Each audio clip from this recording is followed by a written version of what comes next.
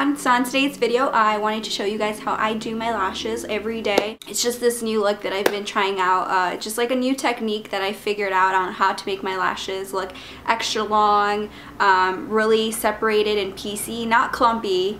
It's called the spider lash effect and it's um, been a really big trend lately. Also, I am really inspired by Kim Kardashian's lashes because they always look so big and like so long and voluminous and just really, really pretty. Like they really stand out.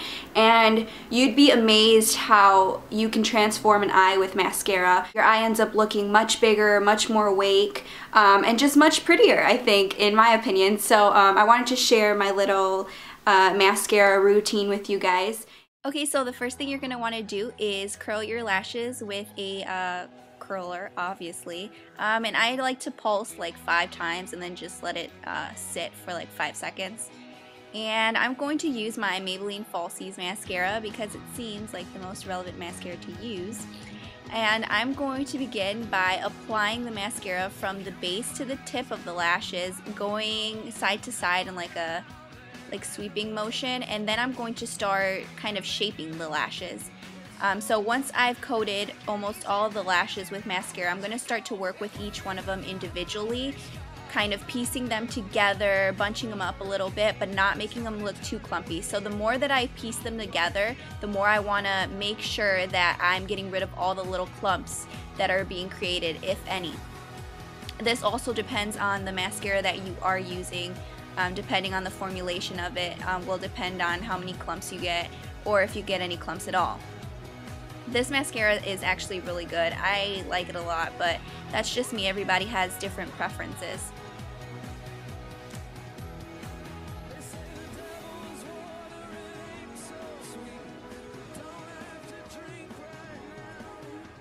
Okay, so I also like to make sure that I grab those lashes around the inner corner of my eye because those are always so hard to get and um, usually I never really pay too much attention to them but with this look you definitely want to try to find them and try to add a little bit mascara to them if at all possible. So it's pretty obvious I already have long lashes, but if I wanted to add more drama or if you need a little extra help in the lashes department, you can definitely add falsies to this and do the same exact, exact technique and it'll work just fine.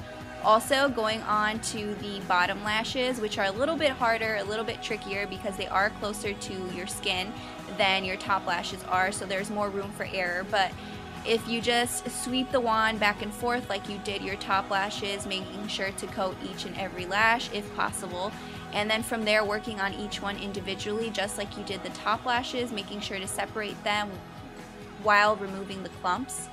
And um, that's pretty much all you do for the bottom lashes.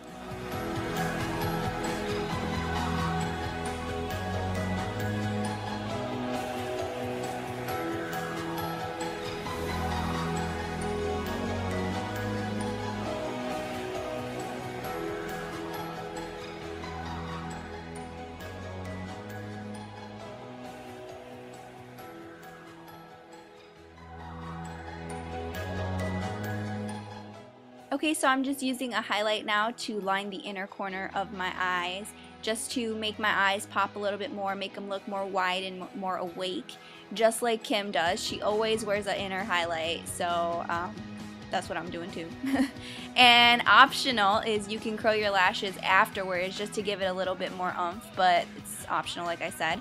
And this is pretty much a before and after. And that's pretty much it. Thank you guys for watching. Bye!